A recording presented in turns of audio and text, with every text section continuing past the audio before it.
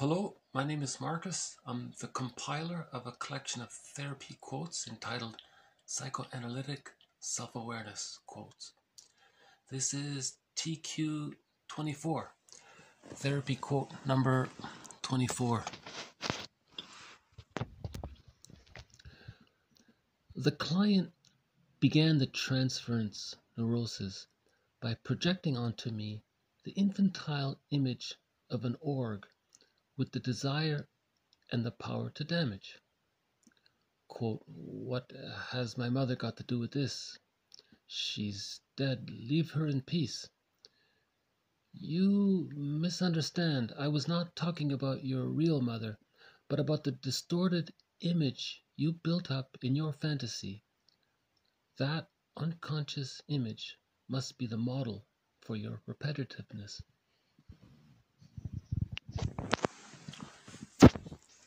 So I thought this quote offers a, continuation to the last uh, video, TQ23.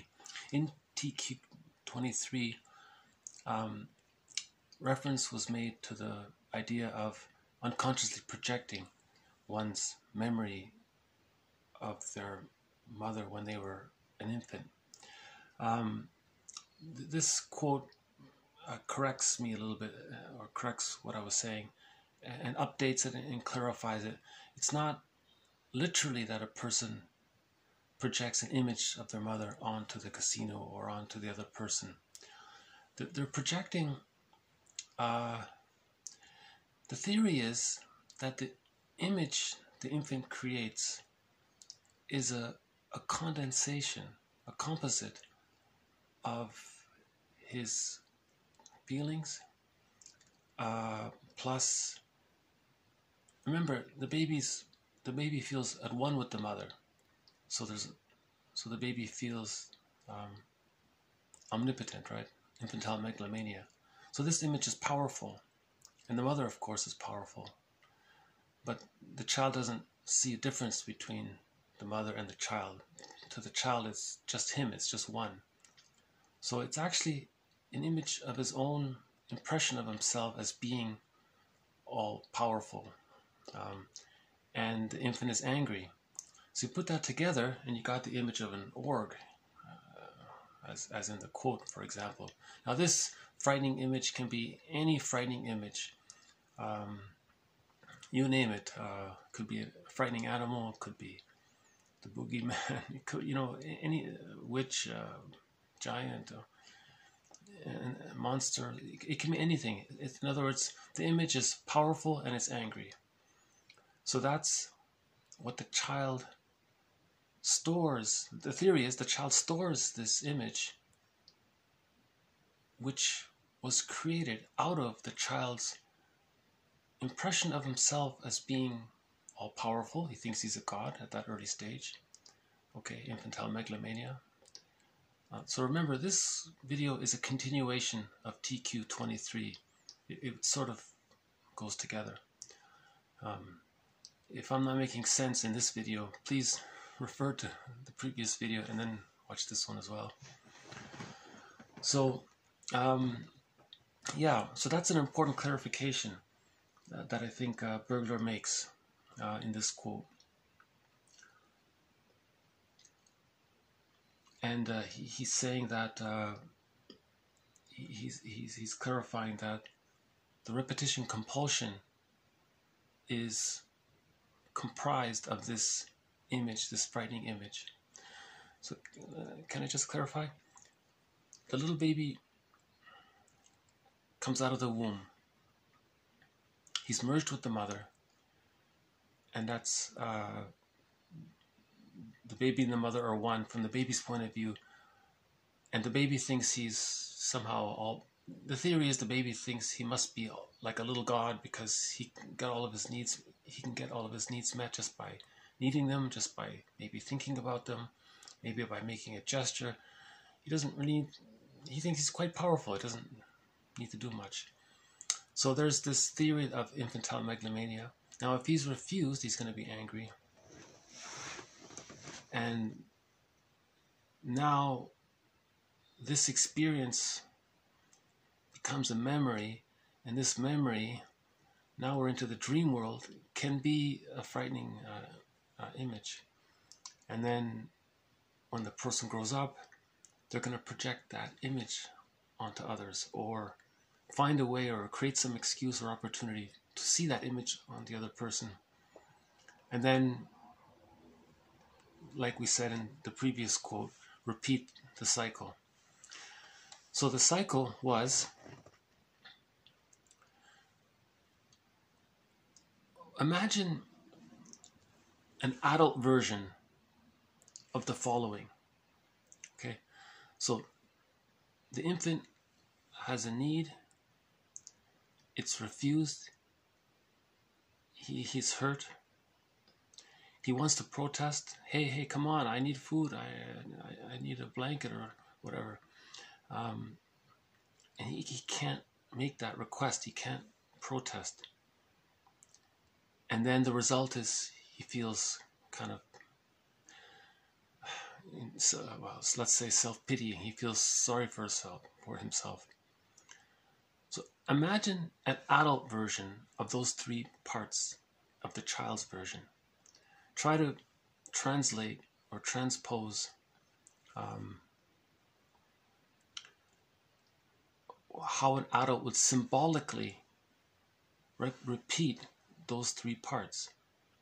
Okay, so the adult might, uh, in the example of the quote, uh, he, he the, the, the, client sees the therapist uh, unconsciously as a dangerous mother, like the child felt that his that his real mother was dangerous, even though he, didn't recognize her as a, as, a, as a dangerous mother at that time. He didn't. He doesn't have. His image is based on an image of him and the mother together. So that's something powerful. And that this image is angry. And since he's fused with the mother, and he's internalizing it. Okay, so now in the adult version, uh, the person is projecting this frightening image onto the therapist, and now the person is arguing with the therapist, let's say,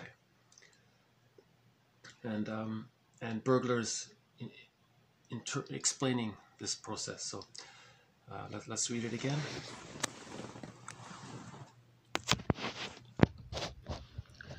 The client began the transference neurosis by projecting onto me the infantile image of an org with the desire and the power to damage. Okay, so that's the memory of the baby being hurt when the mother didn't feed the baby and the baby was damaged because he couldn't reply and he was helpless, right? So the client says, Hey, why are you talking about my mother? Leave her out of this. This, has nothing to do with my mother. And he replies, the therapist replies, Well, no, no, uh, you're right. I wasn't talking about your actual mother. I'm talking about this uh, distorted image you built up in your fantasy. Okay? And, and this is the image that's being repeated. So when he says this is the image that's being repeated, this is the power of self defeating behavior you're, you're blowing things way out of proportion, out of perspective. So in the last example, uh, the woman was on a second date with the guy, and and she's reacting as if this guy's a very emotionally, unconsciously emotionally reacting as if there's a real. Uh, she's making a mountain out of a molehill, right? From the child's point of view, it's serious. It's it's big and important. But from the adult's point of view, it's not a big deal if if if the, if there's no connection, it doesn't work out, can, right? Um, it's not it's not that. Uh, a little disappointing, of course. You have hopes, but it, it doesn't have to have that kind of a st- strong um, emotional aspect to it. Um, the theory is if she is feeling a strong emotional aspect to it, it's because this this she's triggered this past thing has been triggered and each person experiences to a different degree, to a different amount.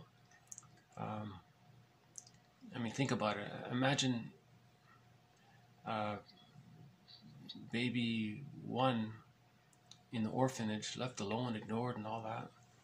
They might grow up quite provocative and, and express their anger, you know, because they were left alone in the in the nursery or in the orphanage or something. Baby two was was in a was formed a secure attachment to their mom, was in a safe place. There was no trauma, no sudden, uh, no no no prenatal trauma. The woman, when she was pregnant, she didn't go to a heavy metal concert with a pregnant baby. So, the, um, yeah, I was sad to hear about that. That some pregnant woman went to a very loud rock concert, and uh, the report was that the, the baby was traumatized by, by the overwhelming. So babies can be traumatized in, in, in the womb. Um, so you can imagine that being, if someone has to unconsciously, you see, in a case when it's so severe like that, maybe they can't even try to re- repeat that in, in, in daily life as they grow up. It's just way, way overwhelming. So what happen, What happens is the body bears the burden the organs bear the burden.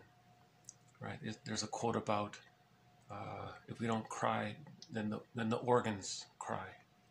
If, if the human doesn't cry, then, then, then the internal organs cry or something. I forgot who said it. So that that's a whole issue. That's one of the theories about psychosomatic issues. If if um, some things are just too much, and then the body has to bear it. That's the theory. That's the, that's the theory. You know, um, that's just the theory. So, uh, it's taking forever to upload these videos. it takes half a day to upload a 10 minute video. and this poor little, no, it's fine, it's fine. Uh, I, I, I, I'm, I'm glad to have the chance to uh, think about and talk about these ideas. Um, sometimes I'm I'm learning about them myself as I speak with you, and um, and uh, and I'm happy to pass along what I what I what I what I've picked up in my reading journey. Um, you know, for the moment, because I'm starting out, I, I close the comments section because I'm just starting out and I don't want to be bombarded with trolls and all, all that. And, um, so I want to wait till I establish myself and uh, have a little more confidence and and know that there may be some people interested in this topic, and then I'll open up the comments section. But I'm just starting out, so I'm doing this uh, bit by bit. Anyways. Um, so this definitely has been Edmund Bergler Day because this is the fourth quote on Bergler's theory so far. And um, maybe I'll do one more before the day is up. Okay, thank you very much. Um, hope everybody's well out there. Um, this has been TQ number 24. Thank you again. See you next time.